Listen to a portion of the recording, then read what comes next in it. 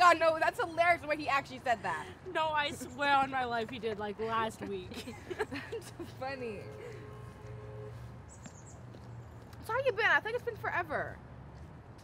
Uh, okay, I guess. I don't really know. You don't know? No, I after last week something shifted. I don't know what it is. I've been out of it. No, totally. Ever since final started, I've been feeling so out of it. I feel like I might just drop dead, you know? Yeah. Yeah.